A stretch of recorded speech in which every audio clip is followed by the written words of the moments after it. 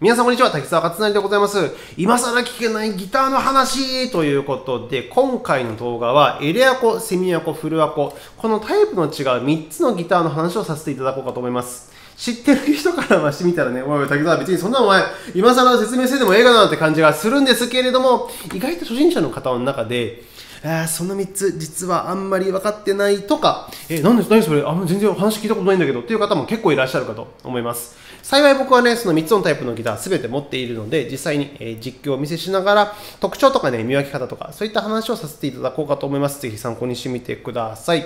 エレアコ、セミアコ、フルアコ。えこの3つのタイプのギターの話です。なんとかアコ、アコ、アコってってもうね、アコって何やねんって感じですけども、えー、そんな感じです。とりあえずまあ順番にエレアコからいきましょう。エレアコ。これがまあそのいわゆるエレアコです。エレクトリックアコースティックギター、略してエレアコです。エレクトリックアコースティックギター。まあ考え方としてはなんかもうね、もうなんか洋和菓子みたいな感じで、なんかね、洋菓子なのか和菓子なのかはっきりしろみたいな感じはするんですけれども、考え方としては、まずアコギが基本とあって、アコースティックギターが基本にあって、これにピックアップという音を拾う装置を取り付けて、アンプとかスピーカーから出力できるようにしたものという感じです。基本はね、アコギなんです。アコースティックギター。アコースティックギターにピックアップを取り付けて、スピーカーとかアンプとかから出力できるようにしたものがエリアコ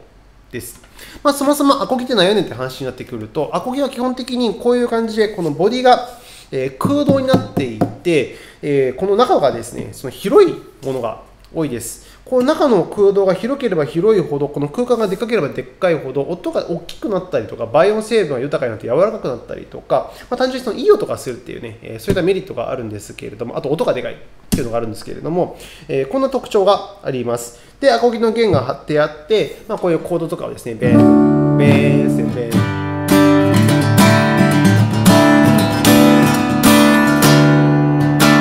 こんな感じで鳴らしたりするんです、鳴らしたりとかするんですけども、キャンプファイヤーとか、えー、バーベキューのお供はこいつです。アコギでございます、アコギ。けど、もし皆さんが、えー、バーベキューとかキャンプとかでさ、10人ぐらいでこうわーわーってこう歌うだけだったらアコギで十分なんですけれども、もし仮に、えー、500人、1000人、1万人の前で弾かなければいけない場合、ギターを弾かなければいけないときは、えー、このアコギの音だけじゃね、音量が小さすぎてね、みんなに聞かせることができないんだ。えー、音が小さすぎるんです。1万人を相手にするためには。じゃあどうしたらいいのかっていうと、アンプとかスピーカーから、えー、出力をでき出力ができるようにピックアップという音を拾うシステムを取り付けるという選択肢になるわけです。だから基本的には、まずアコギがあってピックアップを取り付けたものがエレアコという認識で OK。で、その音を拾う方式はね、そのアンダーサルドとかコンデンサマイクとかもいろいろあるんだけれども、それはちょっとすっ飛ばしましょう。えー、何度も言うんですけども、基本的にはアコギにピックアップ、つまり音を拾う装置を取り付けて、アンプやスピーカーから出力できるようにしたものというのがエリアコです。覚えておいてくださいませ。で、ちょっとね、要注意なのが、えー、僕らのその感覚として、アコースティックギター、こういうくくりがあって、この中の一部がエレアコなんですよ。なので、このエリアコのことをアコギと呼ぶときも全然あるんですけども、その逆はないです。えー、エリアコのことをアコギと呼ぶけれども、エリアコじゃないギターをエリアコとは呼ばないです。えー、そんな感じの感覚があるんで、そこも一つ覚えていただければ幸いでございます。アコギにピックアップを取り付けたものがエリアコということです。で、その次、フルアコというものをお話しさせていただきたいんですけども、フルアコースティックギター。これも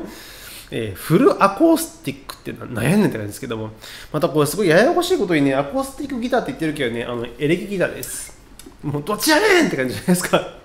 これなんかね、名前がね、悪いね。なんかこの名称っていうか呼び方が悪い。なんでこうなっちゃったんだろう。えー、考え方としては、まず基本にね、エレキギターがあるの。基本にエレキギターがあるの。まあ、ストラトとかレスポールみたいな感じの、ああいういわゆるエレキギターってものがあって、そのエレキギターにアコースティックギターの要素を軽く突っ込んだもの、要素を盛り込んだものっていうのがフルアコです。だからね、エレキギターにしては、えー、中がすごいこの空洞になってるんです。この中、中が、この、なんだろう、その木が詰まったんですよ。だこのギターめちゃくちゃ軽いんですけれども、えー、物によってはね、木材が、えー、でかかったりとかするんで、重かったりとかするんですけども、比較的軽いものが、えー、多いです。なんでならば、えー、中が空洞だから。ストラトとかレスポールだとさ、ほら中に木がみっちり詰まってるけども、これ空洞なんですよ。なんですよ。だからね、すごいめちゃめちゃ軽いの。で、エレキギター、つまりアンプとかスピーカーから、えー、音を出す前提で設計をされているギターだから、必ずつまみとかね、えー、こういうピックアップとか必ずついてますし、えー、エレキギターのシステムとしては、え必ずあります。でそれに対してこの空洞のボディを用いてアコースティックギターの要素を、え、盛り込んだものという感じです。えーと、音の特徴としてね、なんかそう面白いものなんだけども、なんかこの、ね、ピックアップっていうのが電磁誘導というシステムをどう拾っているだけなのに、なんか知んないけどね、このね空洞があるとね、音がめっちゃこうふくよかになるんですよ。なんかこう、ロックとかでさこの早弾きとか音の立ち上がりがすごい速くてこう鋭い音とか、ね、鳴らしたい時はちょっと不向きなんだけれどもでも逆にジャズだったりとかボサノバとかなんかこうおしゃれなフュージョンとか、えー、そういったギターあそういったサウンドを奏でる時はなんかこうねフラコすごいこうマッチするので、えー、結構そういうジャンルの人が好んで使うことが多いです。ただ特徴としてはハウリングというものが起きやすいんですハウリング。どういうものかというとこの弦を鳴らします。でピックアップが弦を弦の音を拾います。で、これがシールドとかを通してベベベベとスピーカーとかに行って音がバーンと鳴りますと。で、そこまではいいんですけれども、この音が大きすぎると、このスピーカーの音でこのピックアップの下のところが振動しちゃうんですよ。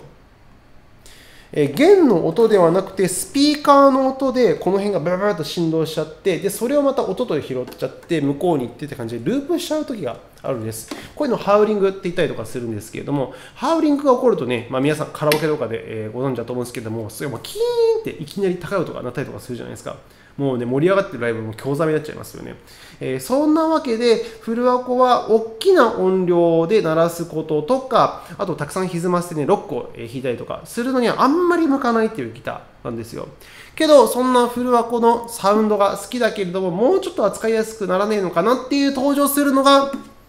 最後のセミアコースティックギターというものでございます。こちら。ベベン。えー、基本的にはフルアコと一緒で、エレキギターの、えー、スタンスで、中が空洞になっていて、アコギの、えー、要素を盛り込んだというのが、まあ、コンセプトになっています。ただ、何が決定的にフルアコと違うのかっていうと、セミアコの場合は、センターブロックっていうね、木材がね、真ん中に通ってるんだ。なので、センターブロックが入っているものがセミアコ、センターブロックが入ってないものがフルアコっていう認識で OK。で、このセンターブロックが入っていることによって、まずね、重い。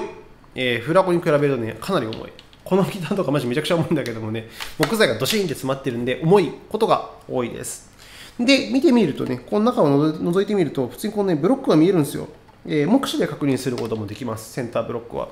で、そのセンターブロックがあることによって、その振動がね、その抑えられるから、えー、ロックな音とか、大きな音とか、ペン鳴らしたりとか、ハウリングしそうな歪みを加えても、ハウリングがしにくくなったっていう考え考え方です。えー、フルはこのサウンドを、えー、もうちょっとこう使いやすくできないかなみたいな感じでセンターブロックっていうものを突っ込んでハウリングさしにくくなって音が締まったものがセミアコという感じです。セミアコースティックギター。まあ、フルアコの改良版って感じですね。えー、そんな感じでございます。見分け方としては本当ね、あの中中に見えます。中に見えます。で、フルアコの場合もえー、見てみれば、すごいなんかあの奥の方が見えたりとかするんで、あ、何も入ってねえやと思ったらフラコです。で、まあ、そうだな、あの軽さ、重さでも判別できると思うんですけども、そんな感じでセンターブロックのあるなしで、えー、セミアコとフルアコは見分けることができます。そんな感じでしょうか。なんとなく合点がいきましたかね。まあ、この辺の名前は何なんだろうね。誰が決めたんだろうちょっとわかんないんだけれども、なんでこうなったのかわかんないですけども、すごいややこしいところですよね。フルアコって言ってるのにもエレキギターってなんでやねんって感じなんですけれども、えー、そんな感じでございます。でもまあこんな話を聞くとね、ああ、なるほど、そういうことだったのかと、えー、いろいろ納得できたかと思うんですけども、いかがだったでしょうか。えー、皆様参考になれば、えー、幸いでございます。そんな感じでもし皆様の方で、ああ、実はこういうこと聞きたかったとかね、実はこんなこと気になってたみたいな質問がありましたら、ぜひコメントの方にバシバシと、えー、してみてください。今後のテーマでね、あのお話をさせていただく可能性が大でございますので、もし何かあればお気軽にペッとコメントしていただけますと幸いでございます。それでは今回も最後までご視聴ありがとうございました。また違うところでお会いいたしましょう。さよならグッバイの前に、えー、私、滝沢勝成、えー、Java 会なるメンバーシップというサービスをやっております。まあ、YouTube の有料会員みたいなやつなんですけれども、えー、ぜひそちらの方のご検討いただければ幸いでございます。そちらの方ではですね、なんかこの限定のイベントとか限定のグッズとか、うん、限定のオフ会とかね、えこれからやっていこうと思ってるんですけども、なんかたくさん面白いことを皆さんと一緒にやっていこうと思っておりますので、ぜひご入会いただけますと幸いでございます。詳しい話はこの辺にはピッて出てきてるはずだから、これをクリックして ご覧ください。よろしくお願いします。それではまた違うところでお会いいたしましょう。今回もご視聴ありがとうございました。さよなら、グッバイ。